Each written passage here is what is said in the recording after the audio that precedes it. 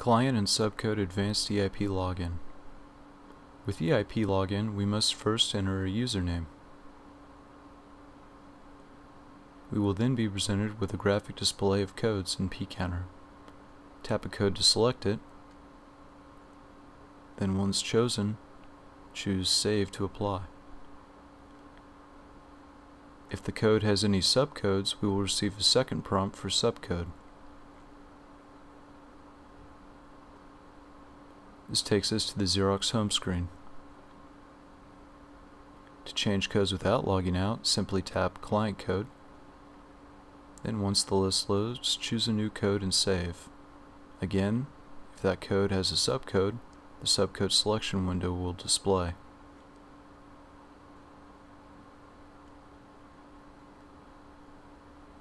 Finally, to log out, tap the Log Out button at the top right corner.